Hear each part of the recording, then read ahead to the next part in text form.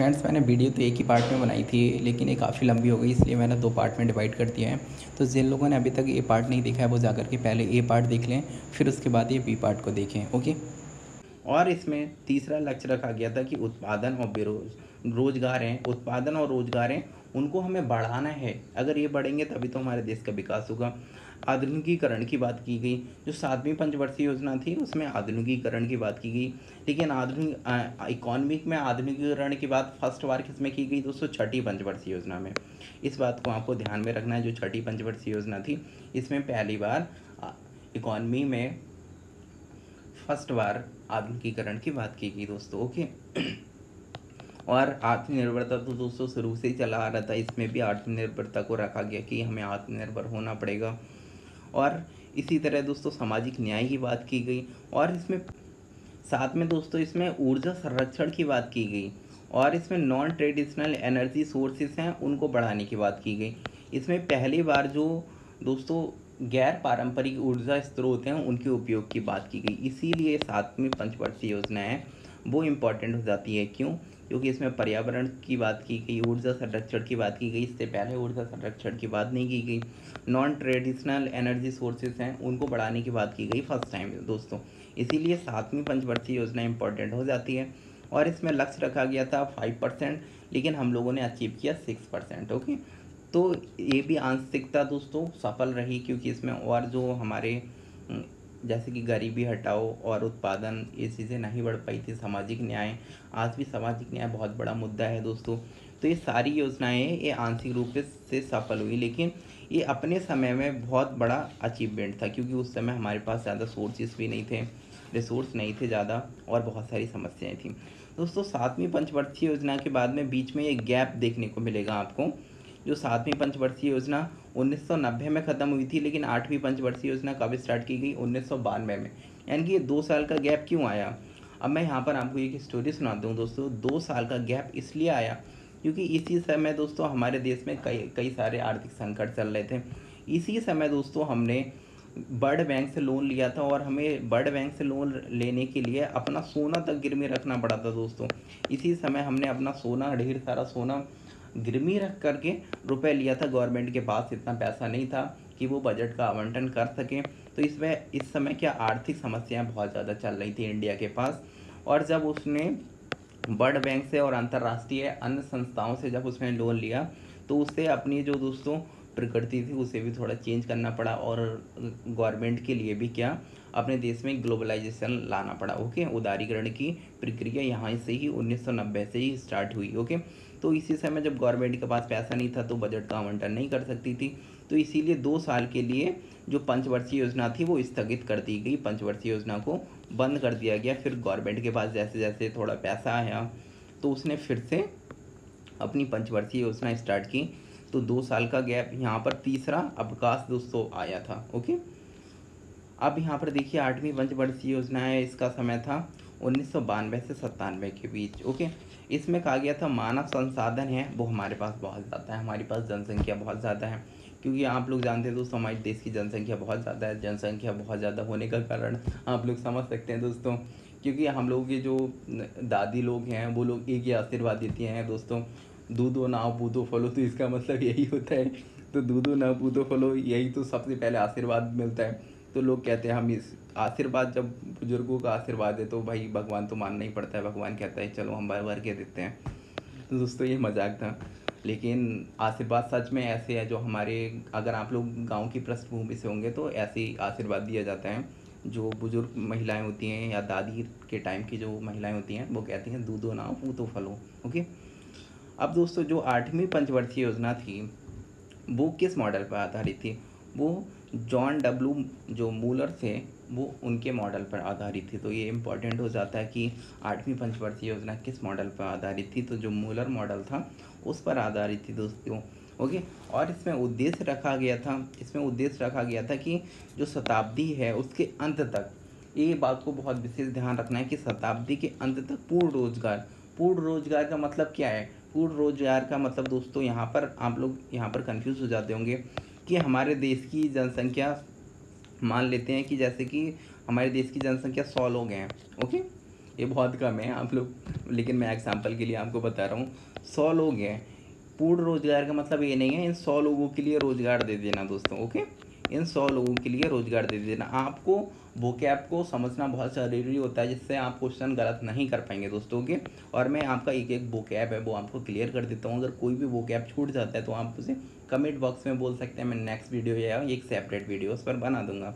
तो इसका मतलब ये नहीं है कि हम सौ लोगों के लिए, सौ पीपल्स के लिए रोज़गार दें ओके इसको पूर्ण रोज़गार नहीं बोलेंगे। पूर्ण रोज़गार किसे बोलेंगे दोस्तों? पूर्ण रोज़गार का मतलब है कि इन सौ लोगों में से अगर अस्सी लोग इच्छुक हैं, अस्सी लोग इच्छुक हैं, अस्सी लोग इच्छुक हैं कि हमें रोज़गार चाहिए, लेकिन बीस लोग हैं, वो कह रहे हैं हमें रोज़गार नहीं चाहिए।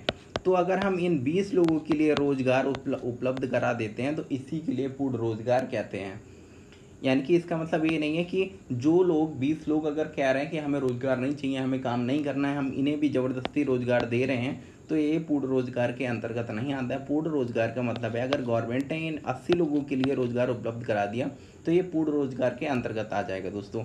और अगर ये सौ लोग भी, ये सौ के सौ लोग कह रहे हैं कि हमें रोज़गार चाहिए और गवर्नमेंट ने इन्हें सौ लोगों के लिए अगर रोज़गार उपलब्ध कराया है तो दोस्तों वो आएगा पूर्ण रोज़गार में। लेकिन ये सौ लोग हैं, ये कहते हैं कि हमें रोज़गार चाहिए, लेकिन गवर्नमेंट ने इनमें से सौ लोगों में से अब अस्सी लोगों के लिए ही रोज़गार उपलब्ध कराया तो ये पूर्ण रोज़गार में नहीं आता है।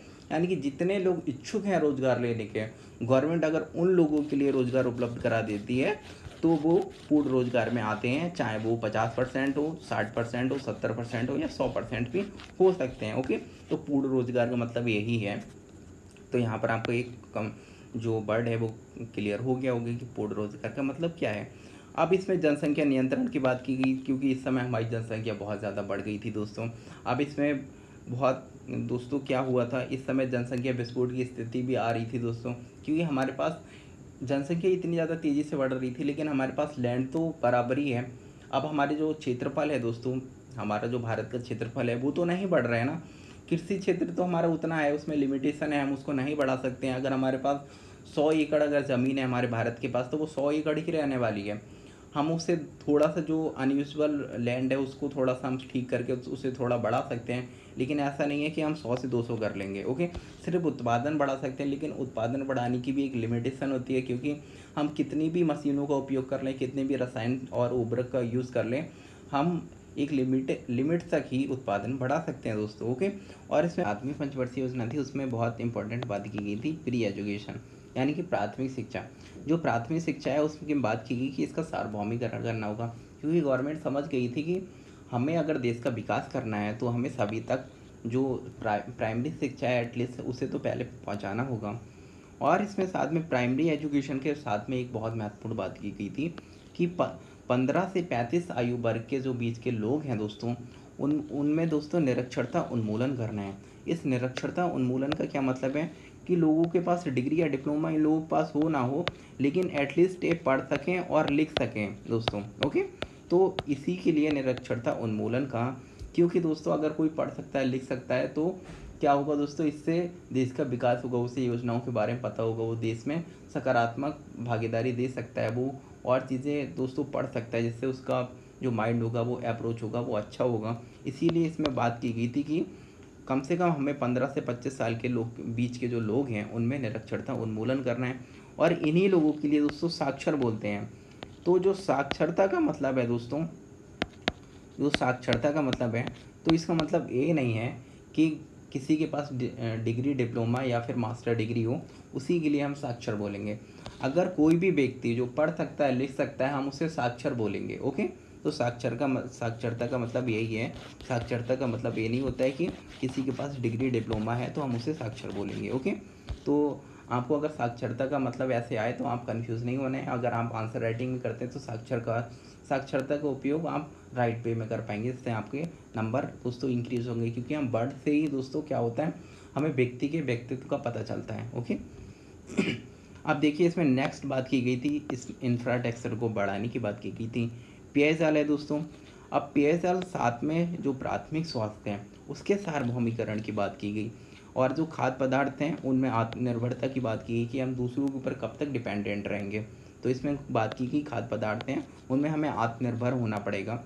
और इसमें जो लक्ष्य रखा गया था फाइव पॉइंट सिक्स परसेंट लेकिन हम लोगों ने अचीव किया six point six eight percent okay तो ये लगभग में जो इसका गोल रखा गया था, उससे ज़्यादा अचीव किया, लेकिन इसमें कुछ गोल थे, वो अचीव नहीं किए जा सके, जो आज भी नहीं किए जा सके हैं दोस्तों ओके अब हम लोग देखते हैं नवी पंचवर्षीय योजना।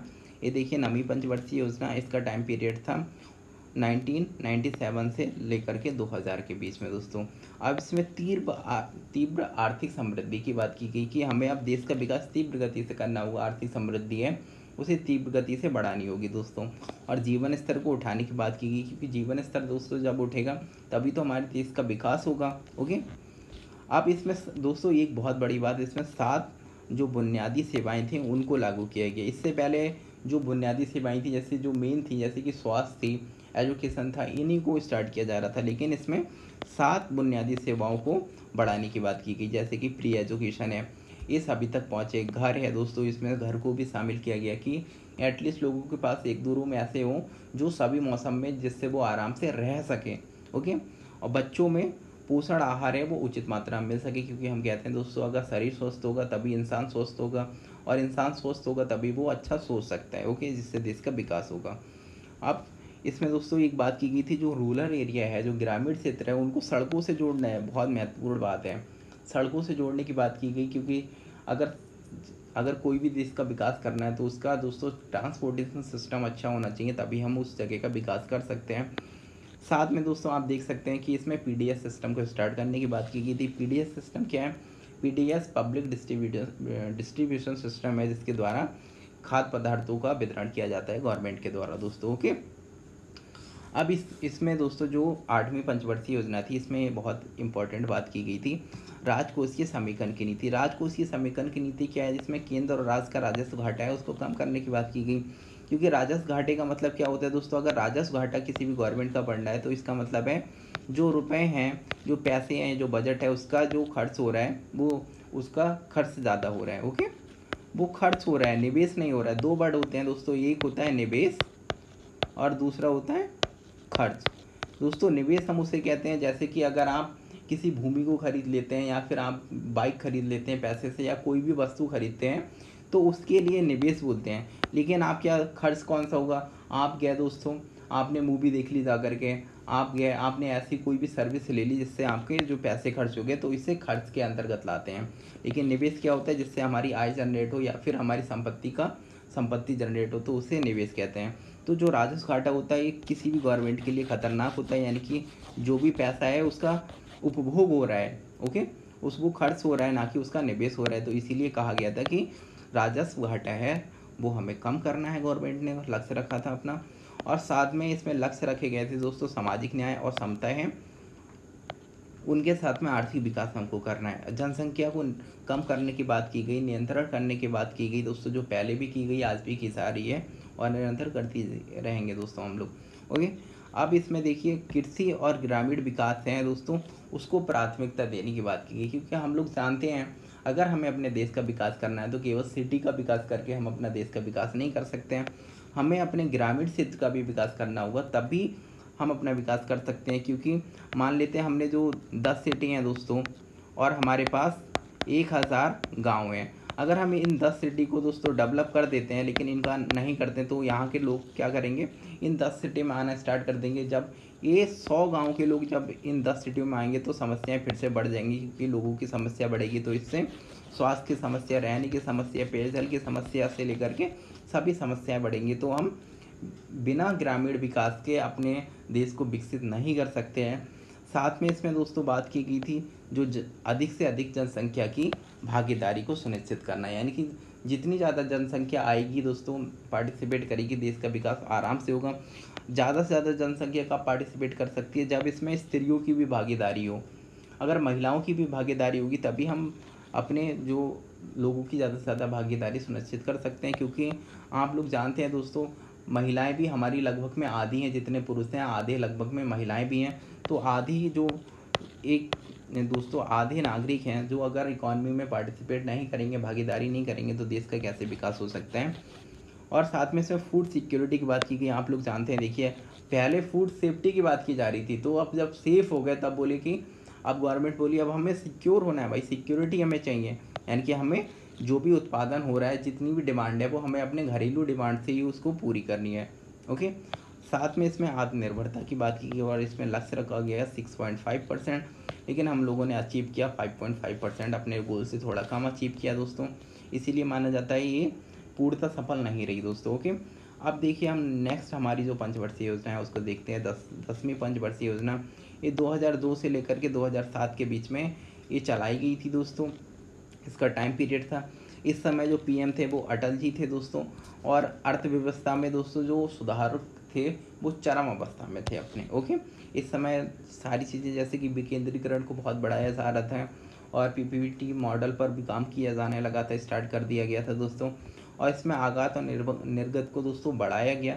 साथ में इसमें जो दोस्तों एक लक्ष्य रखा गया था कि वृद्धि हमें वो seven point seven percent achieve कर ली है दोस्तों ओके साथ में इसमें दोस्तों समान क्षेत्रीय डेवलपमेंट की बात की गई। ऐसा नहीं है कि एक क्षेत्र, जैसे कि हम भारत को अगर तीन चार क्षेत्रों में बांटे, जैसे कि उत्तर, दक्षिण पूर्व पश्चिम और एक मिडिल में बांट ले दोस्तों। ऐसा नहीं है कि हम मिडिल में बहुत ज़्यादा विकास कर दे रहे हैं या पश्चिम में बहुत ज़्यादा विकास कर दे रहे हैं और बचे हुए जो क्षेत्र हैं उनमें विकास नहीं कर पा रहे हैं। तो इसमें कहा गया था कि सभी क्षेत्रों में समान विकास हो, यानी कि ग्रामीण क्षेत्र में और शहरी क्षेत्र में भी विकास समान हो।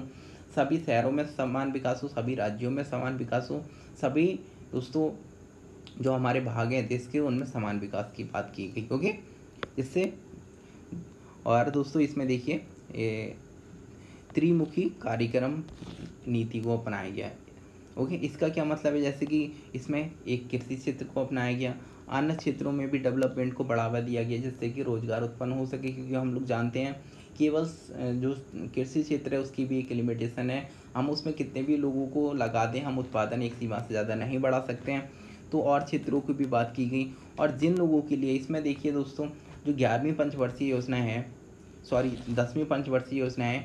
इसमें एक बहुत महत्वपूर्ण बात की गई थी दोस्तों, कि जिन लोगों के लिए अभी तक लाभ नहीं हुआ है, उनके लिए पूरक कार्यक्रम चलाए गए ऐसे जिन लोगों के लिए पीछे पिछली जो पंचवर्षीय योजनाएँ चलाई जा रही थी उनसे उन लोगों के लिए अगर लाभ नहीं हुआ तो इसमें पूरक कार्यक्रम उन लोगों के लिए स्पेशली चलाया गया और इसमें लक्ष्य रखा गया था कि आठ परसेंट का, लेकिन हम लोगों ने अचीव किया सेवन पॉइंट सेवन परसेंट हम लोगों ने जितना लक्ष्य रखा, उससे कम प्राप्त किया। लेकिन ये अभी तक का सबसे हाईएस्ट था दोस्तों ओके तो इस बात को आपको ध्यान में रखना है कि जो दसवीं पंचवर्षीय योजना थी, इसमें हमने अभी तक का जितना था वो सबसे हाईएस्ट प्राप्त किया, लेकिन जो हमने जितना लक्ष्य रखा था उससे कम प्राप्त किया था ओके अब हम लोग बात करते हैं ग्यारहवीं पंचवर्षीय योजना, ये 2007 से लेकर के 2012 के बीच में दोस्तों चली थी और इसमें समावेशी विकास की बात की गई, बहुत इंपॉर्टेंट बात है, समावेशी विकास, यानी कि सबका साथ, सबका विकास, वही समावेशी विकास है दोस्तों ओके और इसमें छब्बीस सूचकांक बनाए गए, जो गरीबी, स्वास्थ्य, शिक्षा, महिलाओं और बच्चों और पर्यावरण के दोस्तों को क्या उनके विकास को दर्शाते थे कि उनमें कैसा प्रोग्रेस हो रहा है। तो इन सब छब्बीस सूचकांकों को बनाया गया दोस्तों के और इसमें उच्च गुणवत्तापूर्वक रोज़गार लक्ष्य रखा गया। यानी कि ऐसा नहीं है कि इसमें उच्च गुणवत्तापूर्ण रोज़गार का लक्ष्य का मतलब क्या है? जैसे कि कोई मास्टर डिग्री किया हुआ है किसी के पास मास्टर डिग्री है ओके अब ऐसा नहीं है वो भट्टों पे काम कर रहे हैं ईट हो रहा है, या फिर पान का खोखा लगाया हुआ है दोस्तों उस समय ओके तो गुणवत्तापूर्ण रोज़गार का मतलब यही है, अगर कोई मास्टर डिग्री किया हुआ है तो उसे, उसकी क्षमता के अनुसार, उसकी दोस्तों एबिलिटी है, उसके अनुसार उसको रोज़गार दिया जाए ओके अब इसमें जो लक्ष्य रखा गया था, वो नौ परसेंट रखा गया था, लेकिन हमने अचीव किया एट परसेंट ओके अब हम लोग देखिए दोस्तों पहले से जो लक्ष्य रख रहे थे, वो बहुत ज़्यादा रख रहे थे, इसीलिए थोड़ा कम अचीव कर रहे थे। जैसा कि हम लोग जानते हैं, हम लोग लक्ष्य तो ज़्यादा ही रखते हैं, लेकिन प्राप्त तो थोड़ा सा कम ही होते हैं। अब देखिए यहाँ पर दोस्तों, बारहवीं पंचवर्षीय योजना आती है, जिसका टाइम पीरियड था 2012 से 17 के बीच में। और इसमें दोस्तों, इस समय आप देख सकते हैं कि 2014 में, इसी समय 2012 और 17 के बीच में 2014 में बीजेपी की सरकार आई। ये बीजेपी की सरकार आई तो इसने जो योजना आयोग को ख़त्म करने की बात की और इन्होंने कहा कि अब हम 2017 से नीति आयोग होगा, उसके द्वारा हम योजनाएँ बनाएँगे दोस्तों, ओके? अब देखिए यहाँ पर दोस्तों, जो बारहवीं पंचवर्षीय योजना थी, ये काफ़ी इम्पोर्टेंट है, इसके बारे में अच्छे से देखना है, क्योंकि ये अभी तक की सबसे लेटेस्ट है, इसके बाद में कोई पंचवर्षीय योजना नहीं आई है, क्योंकि ये लास्ट पंचवर्षीय योजना थी। अब इसमें तीव्र विकास की बात की गई दोस्तों, अधिक समावेशी। अब पहले समावेशी की बात की गई थी ग्यारहवीं पंचवर्षीय योजना में ये देखिए, ग्यारहवीं पंचवर्षीय योजना में समावेशी की विकास की बात की गई थी, लेकिन इसमें अधिक समावेशी जोड़ दिया। धारणीय जोड़ दिया दोस्तों, ओके? तो इन चीज़ों को सस्टेनेबल जोड़ दिया, यानी कि सतत विकास जोड़ दिया कि सतत विकास का मतलब क्या है? हम विकास ऐसा करें कि आगे भी वो विकास होता रहे, यानी कि विकास करने के लिए हमें संसाधनों का जब हम उपभोग करते हैं तो उन्हें भविष्य की आवश्यकताओं को देखते हुए उनका उपभोग करना है दोस्तों, ओके? तो यही सस्टेनेबल डेवलपमेंट होता है।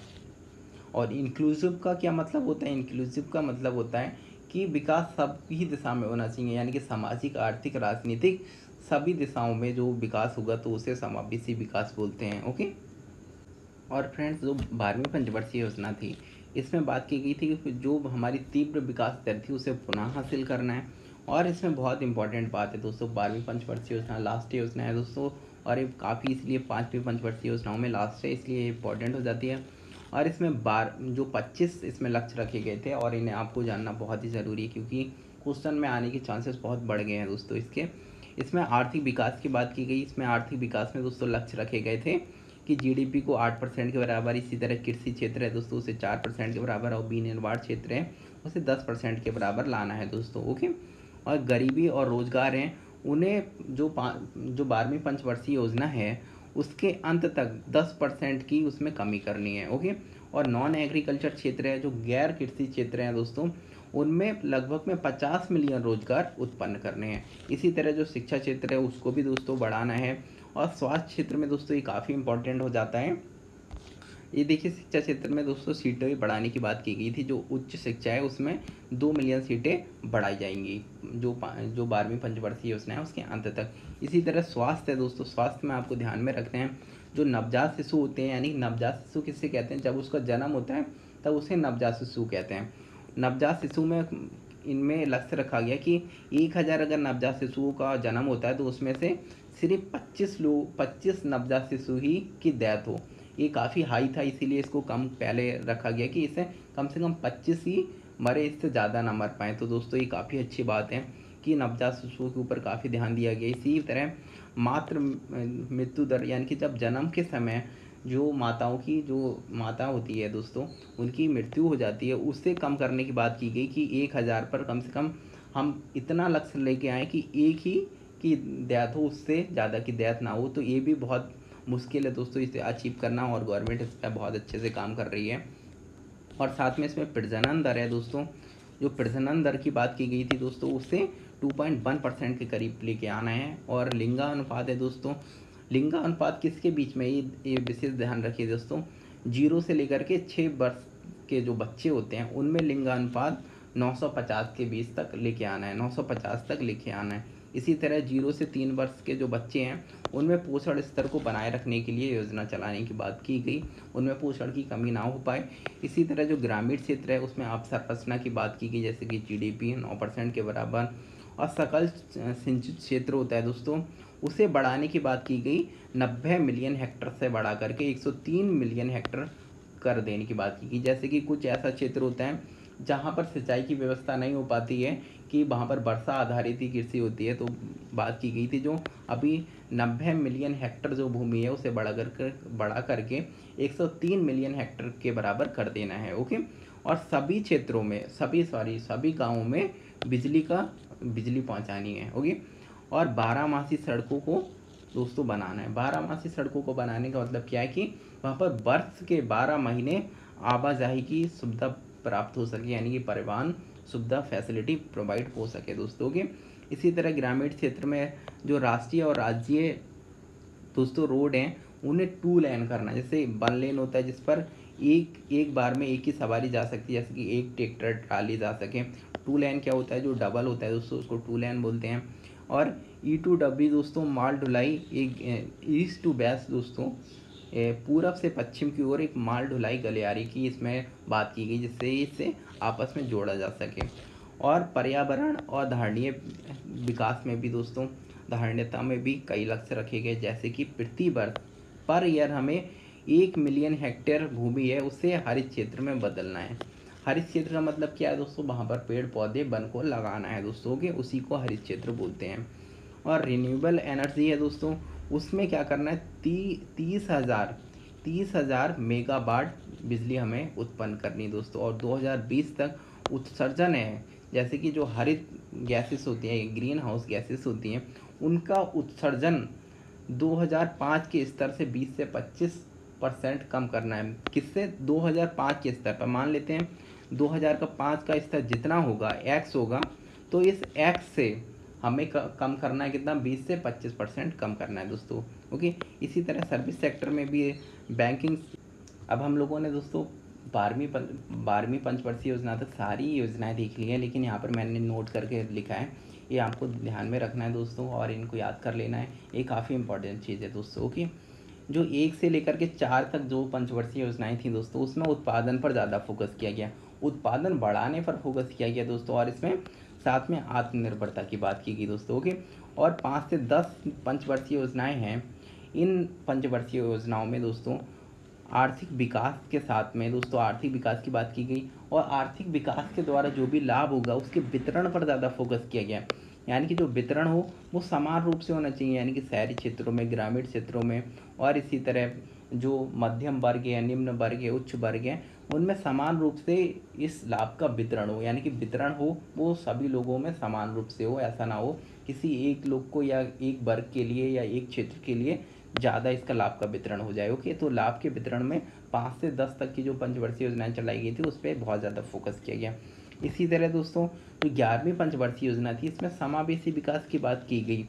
और समावेशी विकास की बात की गई और बारहवीं पंचवर्षीय योजना थी। इसमें अधिक समावेशी विकास के साथ में एक वर्ड और जोड़ दिया गया धारणता।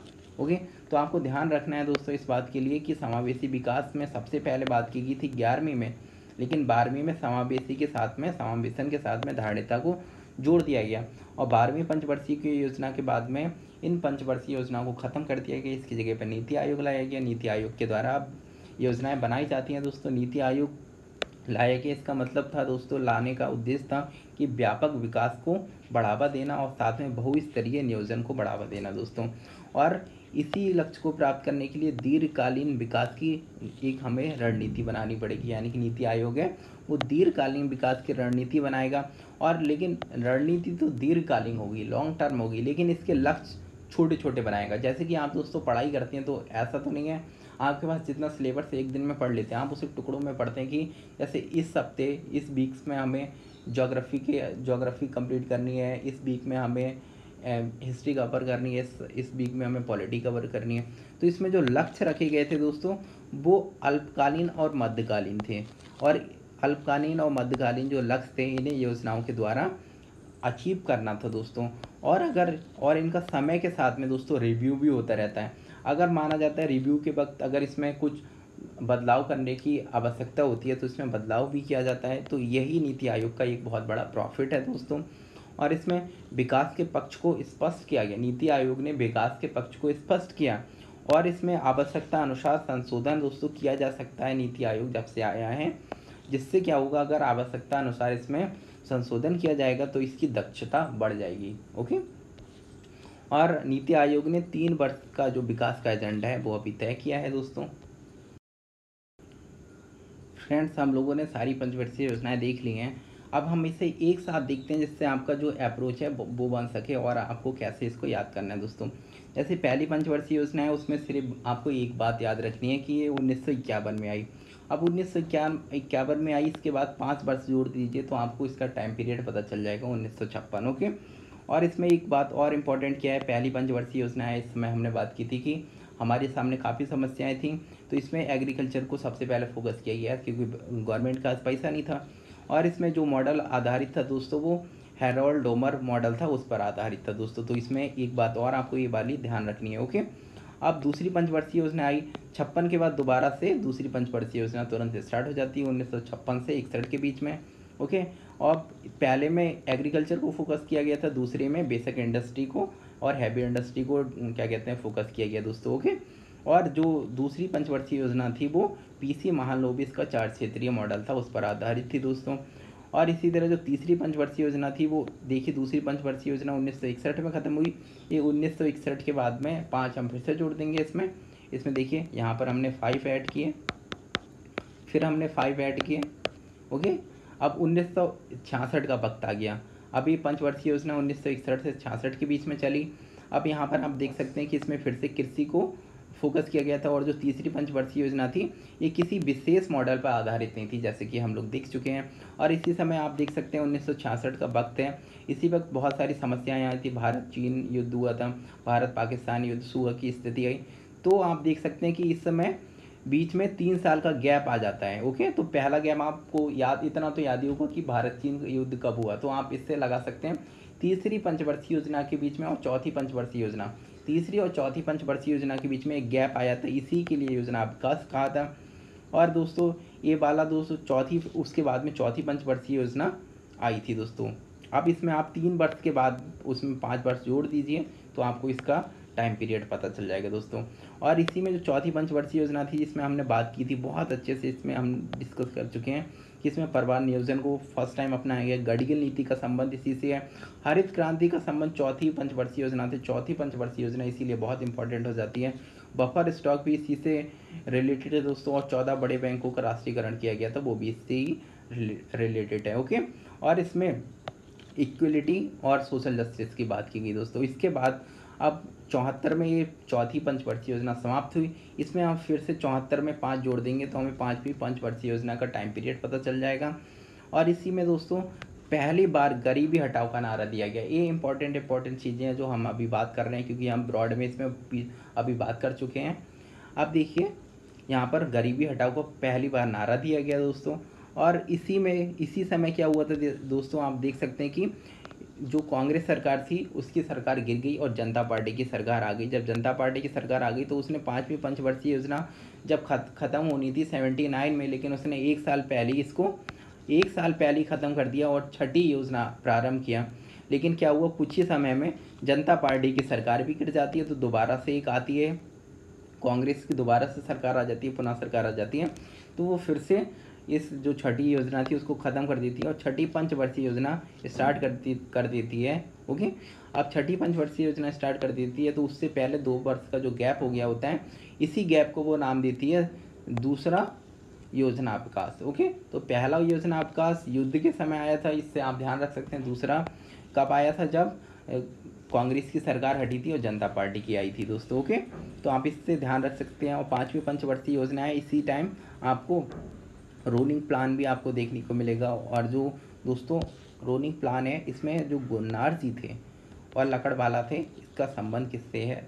रोलिंग प्लान से है दोस्तों ओके अब देखिए, यहाँ पर जो छठी पंचवर्षीय योजना आई तो इसमें आप फिर से पाँच ऐड कर दीजिए, आपको छठी पंचवर्षीय योजना का टाइम पीरियड पता चल जाएगा दोस्तों।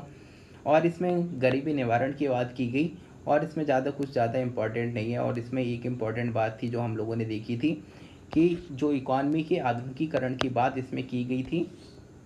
और साथ में, अब हम देखते हैं सातवीं पंचवर्षीय योजना।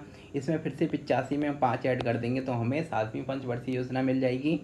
अब सातवीं पंचवर्षीय योजना में लॉन्ग टर्म डेवलपमेंट की बात की गई, ये बहुत इंपॉर्टेंट है। और इसी समय उदारीकरण को भारत को अपनाना पड़ा, क्योंकि इसी समय इसके बाद गवर्नमेंट के पास पैसे नहीं बचे थे तो उसने गवर्नमेंट से क्या किया? गवर्नमेंट ने अंतर्राष्ट्रीय संस्थानों से लोन लिया। लोन लिया तो अंतर्राष्ट्रीय संसाधनों का दबाव आ गया तो उन्हें उनकी बातों को कुछ मानना पड़ा ओके और इसमें जो सातवीं पंचवर्षीय योजना थी, इसमें पहली बार पर्यावरण संरक्षण की बात की गई थी और ऊर्जा संरक्षण की बात की गई थी। साथ में नॉन ट्रेडिशनल एनर्जी सोर्सेज हैं, उनकी बात की गई ओके तो इसलिए इंपॉर्टेंट हो जाती है। अब हम दो, दोस्तों नेक्स्ट देखते हैं कि आठवीं पंचवर्षीय योजना से पहले उन्नीस सौ नब्बे बानवे के बीच में जो गवर्नमेंट के पास पैसे नहीं होते, जब पैसे नहीं होते तो वो अंतर्राष्ट्रीय संस्थाओं से हमने बात की थी तो उसने लोन लिया था। तो पैसे नहीं थे तो बजट आवंटन नहीं कर सकती थी, इसीलिए उसने दो साल के लिए योजना, पंचवर्षीय योजना स्टार्ट नहीं की, इसलिए उनने, उन्होंने आठवीं पंचवर्षीय योजना थी, वो उन्नीस सौ बानवे में स्टार्ट की ओके अब इसमें मानव संसाधनों को बढ़ाया गया दोस्तों, और जॉन मूलर थे, आठवीं पंचवर्षीय योजना जॉन मूलर पर आधारित थी, उनका जो मॉडल था उस पर आधारित थी, इसमें जनसंख्या नियंत्रण की बात की गई थी और इसमें एक इंपॉर्टेंट बात थी दोस्तों, इसमें जो यहाँ पर हम लोगों ने देखा था कि निरक्षरता उन्मूलन और शिक्षा पर काफ़ी बल दिया गया था। कौन सी? आठवीं पंचवर्षीय योजना में ओके और प्राथमिक शिक्षा थी, इसमें सार्वभौमिकरण की बात की गई थी आठवीं पंचवर्षीय योजना में। इसी तरह दोस्तों, आप यहाँ पर देख सकते हैं, नौवीं पंचवर्षीय योजना में जो सात न्यूनतम बुनियादी सेवाएँ थी, उनको स्टार्ट किया गया था। इसमें प्री एजुकेशन और पीडीएस सिस्टम भी इसी में शामिल था। तो नौवीं पंचवर्षीय योजना का संबंध किससे है तो आप बता सकते हैं। और राजकोषीय समीकरण नीति है, इसका संबंध किससे है दोस्तों? नौवीं पंचवर्षीय योजना से ही है। अब यहाँ पर आप देख सकते हैं, जो उन्नीस सौ बानवे के बाद जितनी भी पंचवर्षीय योजना आई हैं तो आठवीं पंचवर्षीय की पंचवर्षीय योजना के बाद कोई भी गैप नहीं हुआ है तो आपको सिर्फ़ दो गैप ध्यान रखने हैं कौन कौन से?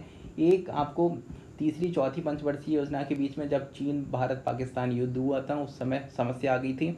और दूसरा, जब जनता पार्टी की सरकार आई थी, उस वक्त आपको ध्यान रखना है, दूसरा योजना अवकाश आया था। और इसी तरह उन्नीस सौ नब्बे बानवे दो साल के करीब में, गवर्नमेंट के पास पैसा नहीं था तो उसने अंतर्राष्ट्रीय संस्थानों से लोन लिया था तो उस समय तीसरा योजना अवकाश आया था। तो ये तीनों आपको याद हो जाएँगे, बहुत ही ईजी है। और इसके बाद में जितने भी हैं, उनमें किसी में भी योजना अवकाश नहीं आया है। आप डायरेक्ट आप पाँच पाँच जोड़ते जाएँगे। जैसे जैसे आप पाँच पाँच ऐड करते जाएँगे तो आपके लिए सभी का टाइम पीरियड मिलता जाएगा दोस्तों। तो यही आपका अप्रोच है, आप इसको ध्यान रखिए। और इसमें जो नौवीं पंचवर्षीय योजना थी, इसमें फ़ूड सिक्योरिटी की बात की गई।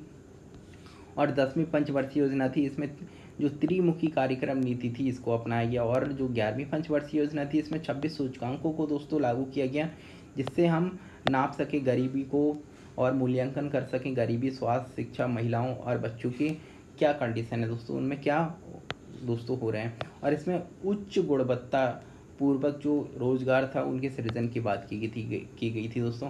और ग्यारहवीं पंचवर्षीय योजना में हम लोग देख सकते हैं कि समावेशी विकास की बात की गई, सबसे इम्पोर्टेंट बात है। और बारहवीं पंचवर्षीय योजना में समावेशी विकास के साथ में और जो धारणीय विकास था सस्टेनेबल डेवलपमेंट था, इसको जोड़ दिया गया और इसके साथ में पच्चीस लक्ष्य रखे गए, जिनके बारे में हम अभी बात कर चुके हैं दोस्तों।